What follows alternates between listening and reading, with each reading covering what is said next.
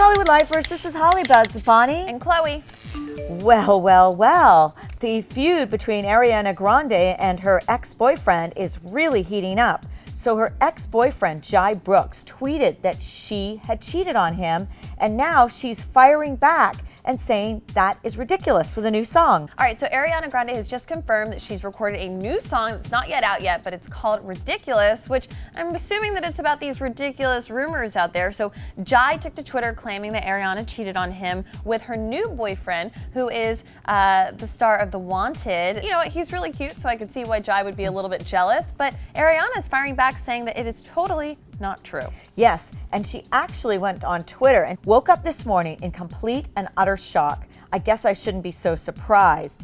You said to me, if I didn't come back to you, you'd make me look bad to the entire world.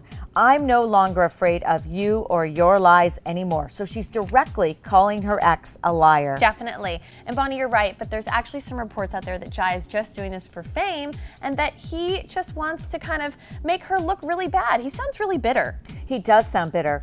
This was not a happy breakup. And it, listen, it's sad. These are all very young people. I mean, Ariana is only 20. So, Hollywood lifers, now we want to know who do you believe? Do you believe Jai or do you believe Ariana?